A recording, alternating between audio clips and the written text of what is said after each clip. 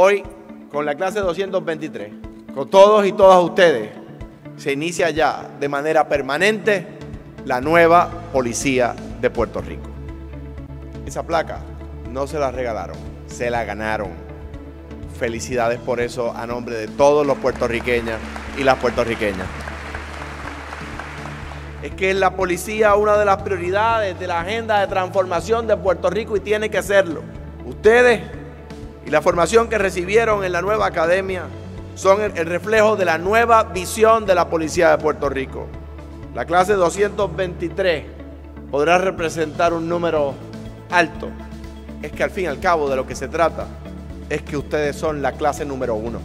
Ustedes son la primera clase graduada en la nueva Academia de la Policía para la nueva Policía de Puerto Rico.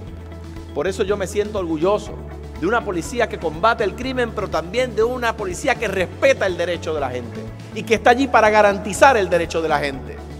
Sin duda alguna, hoy Puerto Rico adelanta en la garantía de los derechos para todos y para todas. Ustedes no son un instrumento más de esa garantía ustedes son un instrumento imprescindible para lograr que Puerto Rico siga siendo cada vez más una sociedad más justa y más libre. Que Dios los bendiga cada día que salgan a la calle y que Dios bendiga a Puerto Rico.